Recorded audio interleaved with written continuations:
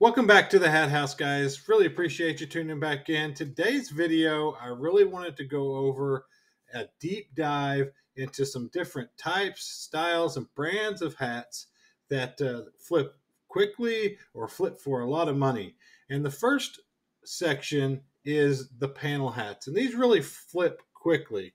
So they're more in abundance. They're not going to typically be 100 to 200 dollar hats but you can find them out there in any brand whether it's vans or brixton or uh, nike. Uh, there's all sorts of brands make a five panel hat and they flip really well. Uh, the second style that i re- that i really wanted to go over was patagonia. Uh, patagonia is a huge brand. There are hats in patagonia that sell for hundreds of dollars and there's hats in patagonia that sell for ten dollars I really want to be able to show you the difference in those and kind of what you're looking out for. The last one that I wanted to look at was the Bangers, basically, which is sports specialties. It's a huge brand as well. Uh, they have hats that go for thousands of dollars. We'll look at a couple of those and see what we're looking for. There's also the mid tier, which I would call 100 to 200 dollar hats, and then the lower tier sports specialties, uh, the 20 to 50 dollar hats that really runs the gamut on sports specialties. And you just kind of got to know what you're looking for. I'll give some tips on uh, how to tell if it's a vintage hat, the uh, styles that you're really looking for. And we'll just get a deep dive into these three. I'll continue this series. I'll continue to show you different brands and styles of hats and what we need to be looking for out there uh, and how we're pricing some of these things. So stick around, guys. I know you'll enjoy.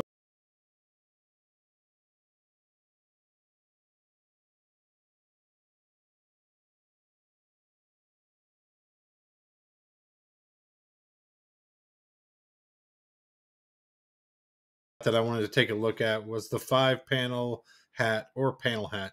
All I did was search five panel hat in the search bar, and the only other settings that I really used, I set it to pre owned and I set it to sold.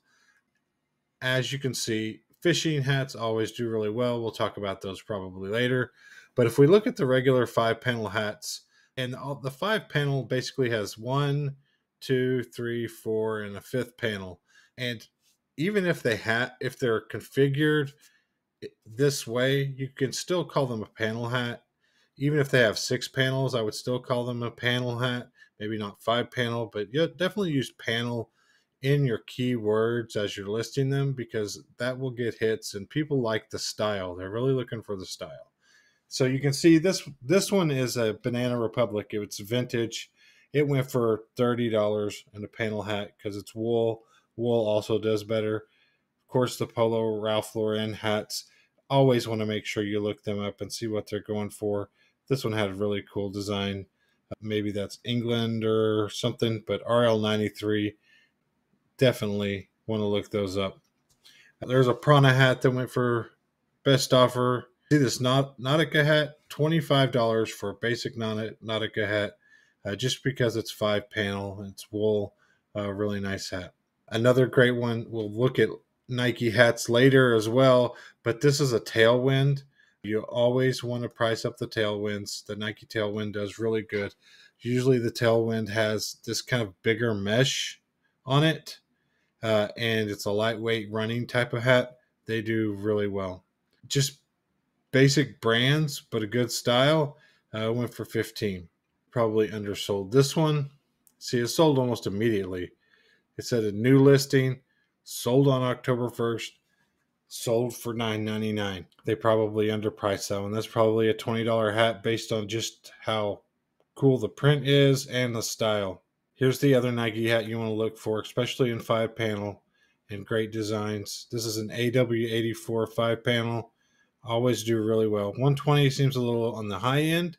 Uh, I don't ever get that for mine. Maybe I've never found this awesome style and color scheme but uh, usually they're at least 50 to 70 dollar hats. See just a basic running jogging hat. This has no brand on it but it's the five panel type of style $15 plus shipping. Uh, supreme hat really cool all over print hat right here went for 16 another supreme hat for 50 bucks. Stussy hat uh, went for 30 uh, these Cole hats probably went cheaper. Uh, could have probably got $20 a piece for those. Another supreme hat And here's the, here's the other main one you want to look for. It's going to be this vin- these vintage Patagonia. They kind of have the mesh on the sides here. I would call this a fishing hat and also a panel hat. They do really well.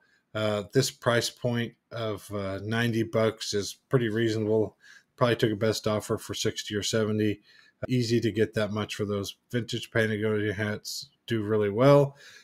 But also in the five panel, they just sell even faster. Scroll down here, see if there's anything else of major significance besides just a regular Brixton hat. The five panel and the title goes for 20 bucks. This style, you just really want to keep an eye out for. It's really all about the style. It sells well, it sells fast. This is probably probably they're calling it a fresh Prince of Bel Air hat. Did really well. Took a best offer on it. So always be on the lookout for the five panel hats. Even a regular HUF hat sold for 15. North Face. The style is really where it's at.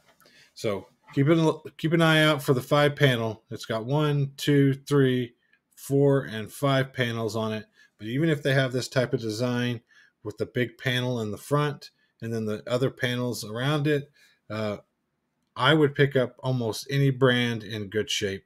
It for a couple of bucks, you can turn it into 15 to 20 pretty easily. The next set of hats that I want to look at is Patagonia hats. On the settings here, I just typed in Patagonia and I did put it to sold and I didn't click pre-owned. I went ahead and looked at the new ones and this one as well because basically you're going to find that the vintage ones which are basically used are the ones that go for the most anyways. And then I set it to price plus shipping highest first. Uh, so the first one here, you can see it's just a great five panel hat, which we've talked about. Uh, and it also has a great uh, all over flower print here uh, and it's vintage. So uh, really cool hat right here, 225, awesome price. Uh, the next set I want to look at is the Live Simply. It comes in a couple of different styles. I've never had the frog one myself. There's also one with a guitar on it that does really well, and there's other styles that say Live Simply on there. So on the Live Simply Patagonia, you always want to look that up and do your due diligence on the research there. They can do really well. And in Patagonia, we're really looking for different than regular. So the regular Patagonia hats, which I'll show you in a minute what I'm calling regular, but just a regular Patagonia hat is most of the time between 10 and $20. We're looking for different.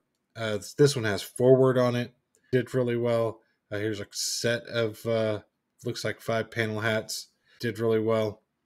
And this one is, this they call it a spoonbill. I've never called it spoonbill, but a duckbill hat uh, has the uh, the hat that the bill is really uh, soft and uh, easy to. Basically, this one you can fold it up and put it in your pocket, uh, and then it has this mesh on the side.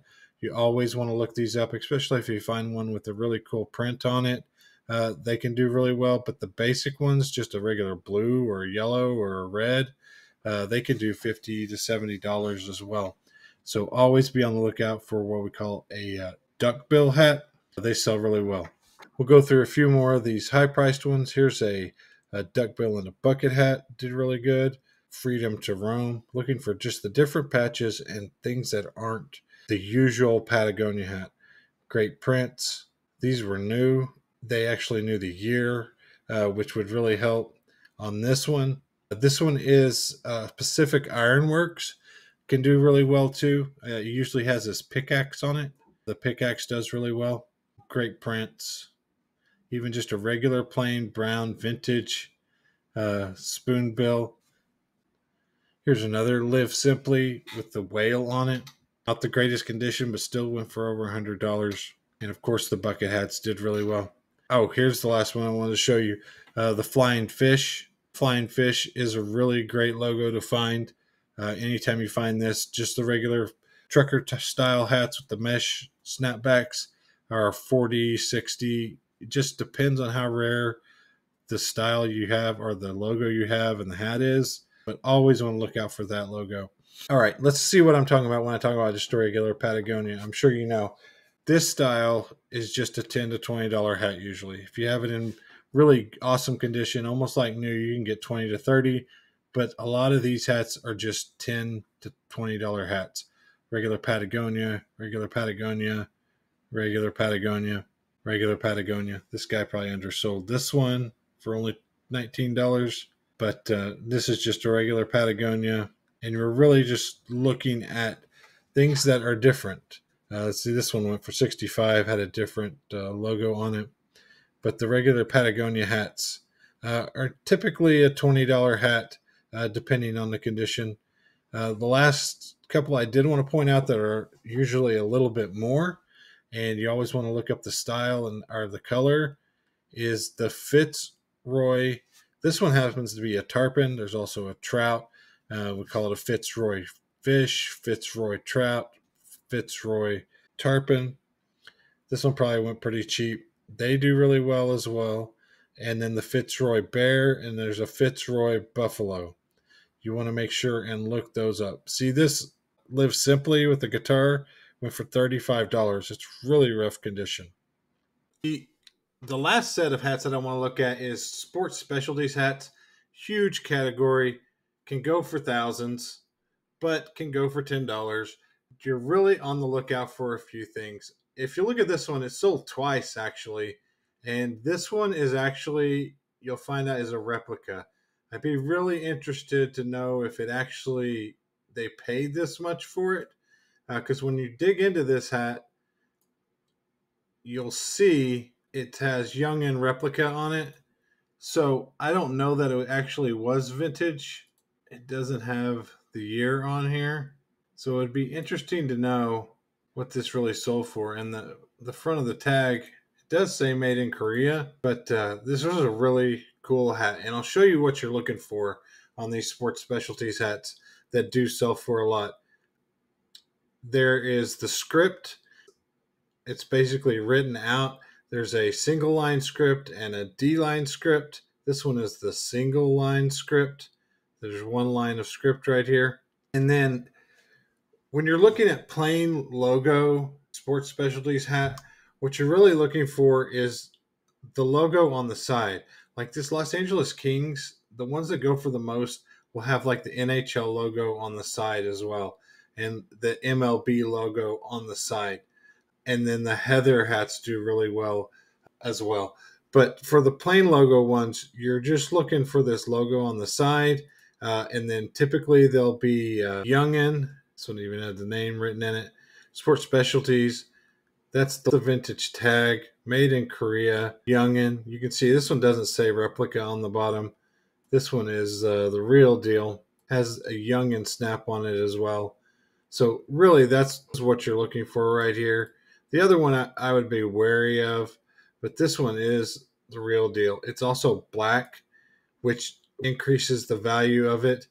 The black with the Batterman on the side, Youngan, snapback, beautiful hat. Probably really did sell for that much. They probably did end up paying this is about a thousand dollar hat. Really diamond in the rough right there.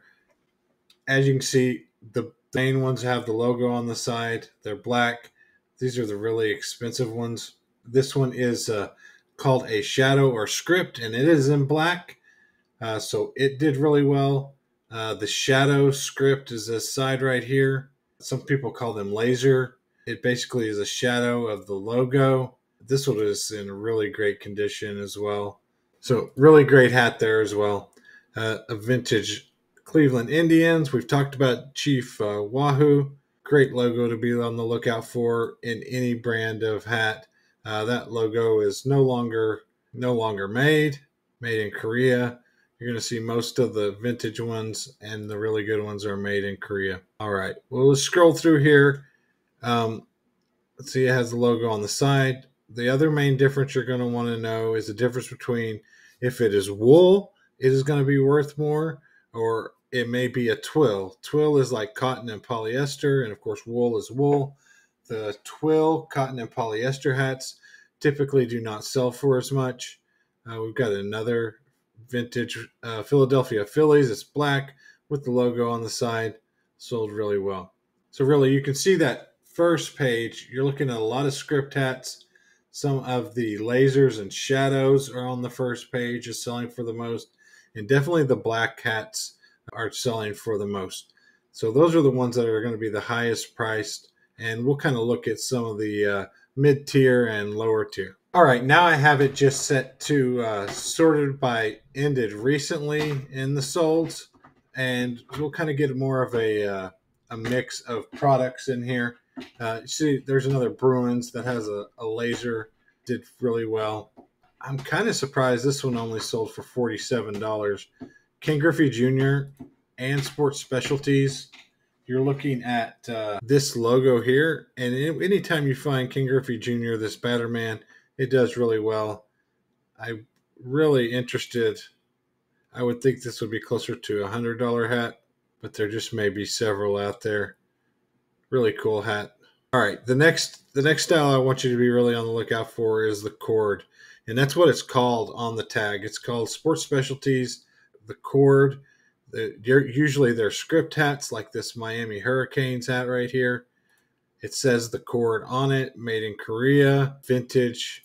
Really, it's one of the best corduroy sports hats that you could get as far as quality uh, and style. So this one did really well. It says it went for 105 and I think I brought it up in a past video, but uh, you may see like you may think it's like a collaboration between Nike and Sports Specialties. Nike bought Sports Specialties, so it is not a mix-up. So there will be some Nike hats that do say Sports Specialties on them.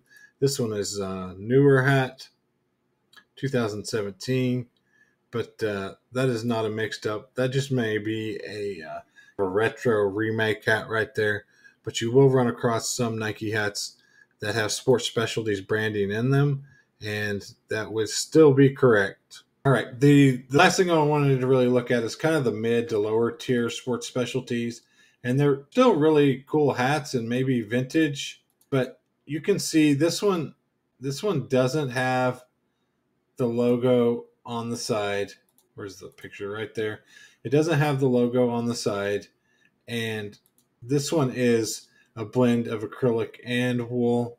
So these hats don't go for as much. They're still nice hats, but it's just not the primo quality sports specialties that you're looking for. And sometimes people will price these up for $300, not understanding the difference in what they have. All right, one more thing that I want to call out on the sports specialties. Uh, this one was actually mine, and this isn't vintage.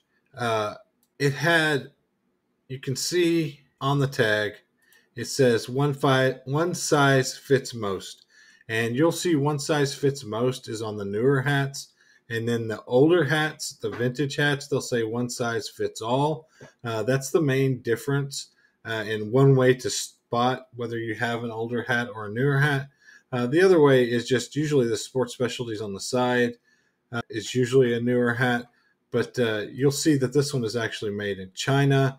The older ones we saw were made in Korea, and this one has one size fits most, uh, are the easiest ways to tell.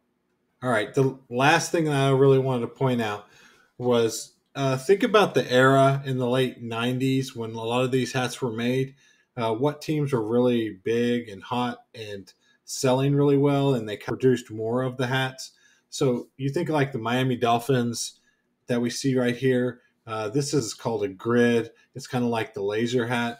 Miami Dolphins, the Dallas Cowboys, a lot of San Francisco 49ers uh, was really hot during that time period. And it kind of goes for the baseball ones as well. Just think about the, the sports brands that were big and mass produced. Those hats just aren't going to go for as much typically. Uh, it's just all about rarity and how many of these hats are out there in the different teams. So, Green Bay Packers, won't go for as much. Dallas Cowboys won't go for as much. But if you find the smaller teams, the smaller markets that that was good back then, but maybe are good now, those are the hats that really start pushing up the price because there just wasn't as many made.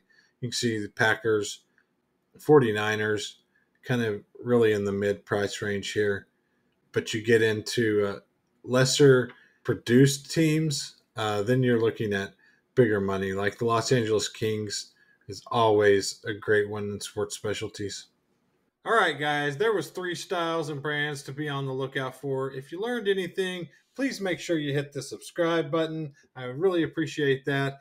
And if there's something else that you want to kind of do a deep dive into, if there's a brand or a style of hat that you want to look more into, make sure and let me know down in the comments. Uh, we'll get to it. I plan on this series to keep doing it. And uh, until next time from the Hat House, so long.